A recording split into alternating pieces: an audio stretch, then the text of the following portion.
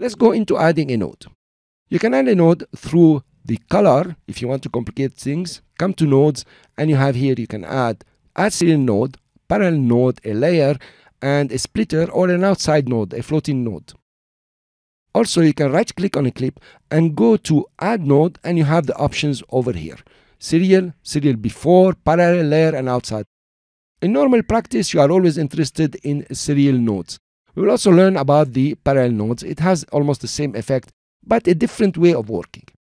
The shortcut is the easiest thing to do to use. It's Alt S or Option S on the Mac. Here you are. I added a node after the selected node. If I select this node again and press Alt S or Option S on the Mac, here you are. You added a node in between these two nodes. Let's add another one and let's put it here. Let's add some gradings. So I'm going to use the primary wheel. Don't worry about what I'm doing now. I will explain to you the primary wheel later on in detail. Let's say we add the gain, as simple as this.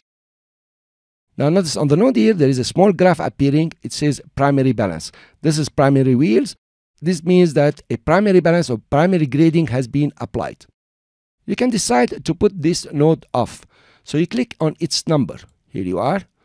Another one, you put it off. By the way, guys, the clips here are numbered 01, 02, 03. And the nodes are numbered. There is no correlation between the numbering of the nodes and the numbering of the clips. Okay? You can also decide to right click and reset node grid. Here you are, everything disappeared. I will add now, but I'll make it more. Okay, so it's so obvious.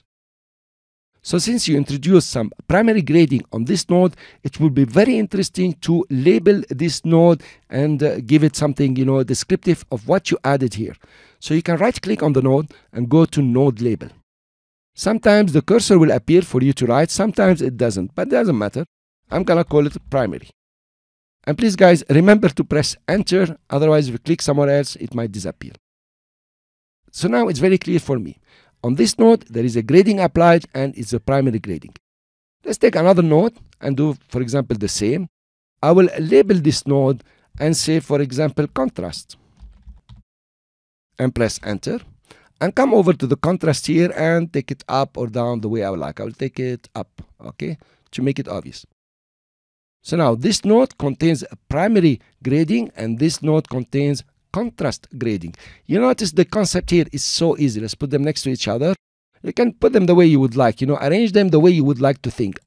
You can also think about it as a mind map for your grading and effects.